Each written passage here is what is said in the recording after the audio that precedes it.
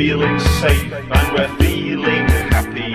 No one can touch us here, we're all on our own. The street lights shining in the rain outside. Here the floors are wooden and the walls made of stone.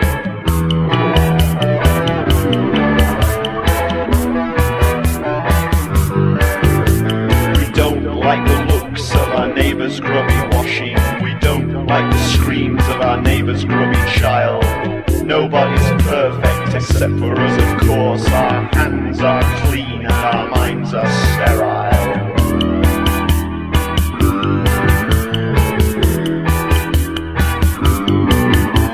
The lives we lead are pure without exemption. Our upper lips stiff, but our backs without a spine. We close our eyes to the things we can't face up to. No need for vision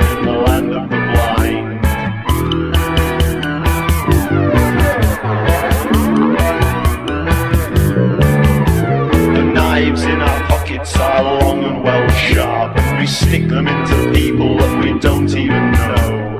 It's not that we're looking for a violent confrontation, but unconventionality we just won't allow.